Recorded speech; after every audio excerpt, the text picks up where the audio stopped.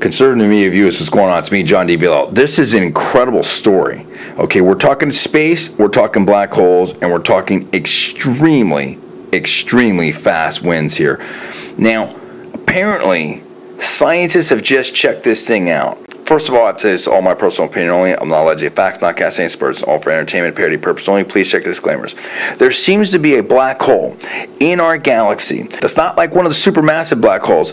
This is a smaller black hole, but it creates some seriously, seriously fast winds. I'm talking winds about 20 million miles per hour, okay? 20 million miles per hour.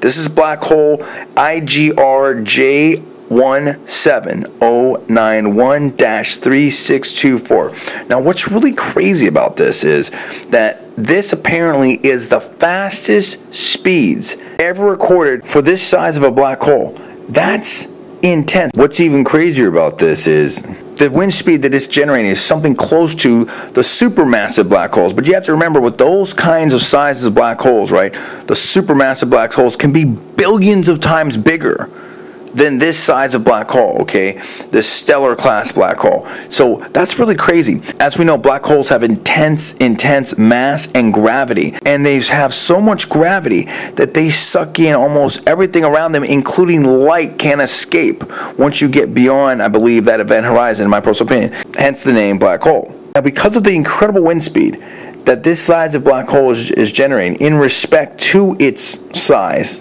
these scientists are theorizing that almost all of the matter around the black hole is actually being ejected by this wind.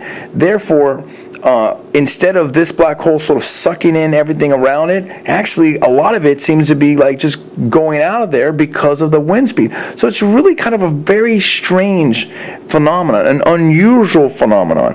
Why do you think this black hole is operating the way that it is? What do you think is behind this strange phenomenon? What is making this black hole behave the way that it is? What is generating these record breaking wind speeds here? You tell me what's up with this. Give me the comments below. Please subscribe above. I'm John D. Villarreal. Also, let me know if you like or dislike this video. And also, if you want to join our Facebook page, go to Facebook, type in Conservative New Media. You can join our Facebook group and join all the Facebook fun that we have over there. Reporting for Conservative New Media, I'm John D. Villarreal.